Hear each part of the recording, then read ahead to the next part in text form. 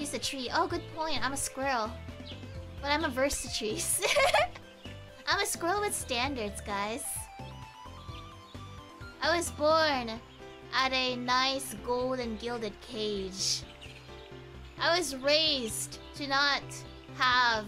Oh. Oh, wow. I was raised to find a man with tons of nuts. Golden nuts, diamond that's why trees and I, we usually do not mix. Unless the tree happens to be made out of golden diamonds.